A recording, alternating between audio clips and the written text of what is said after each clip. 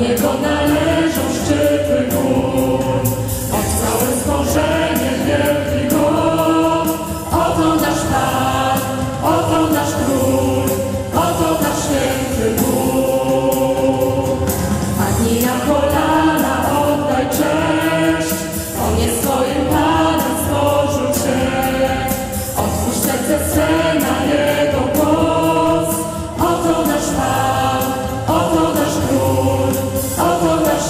Lord.